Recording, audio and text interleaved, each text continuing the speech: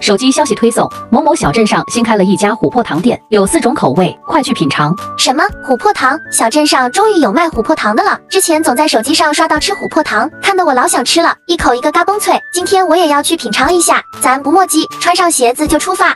我还是想吐槽一下老妈装的这个门，不知道这两边留个大缝是干啥的？这门别说防贼了，连狗都防不住。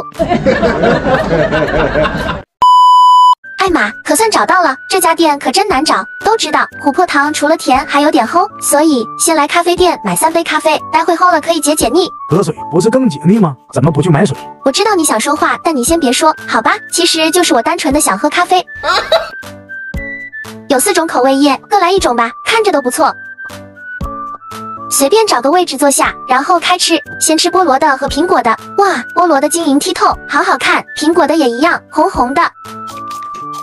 艾玛有点粘牙，不过味道还可以。对了，琥珀糖应该很好做吧？就这么点东西，买包糖熬一熬，再放个水果不就行了？我一定也做得出来。等我把这些吃完，我就回家自己做。嗯，你确定你做得出来？这玩意儿可没你想的这么简单。切，不就是块糖吗？再难能有多难？我一定能做。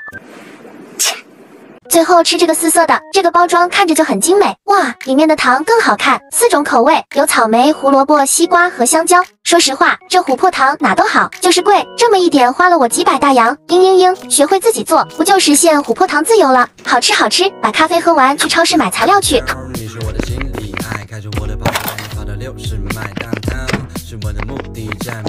做之前先洗个手，要做个爱干净的小朋友。哟，还挺押韵。OK，先把买来的糖撕开，放进锅里，然后再接杯水倒进去。好家伙，你连教程都不看，这么自信的吗？别等会翻车了。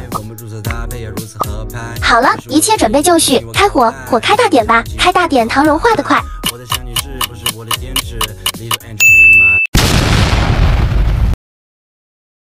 完了完了，厨房又被我炸了！在老妈回来之前，我还是赶紧逃到外星去吧。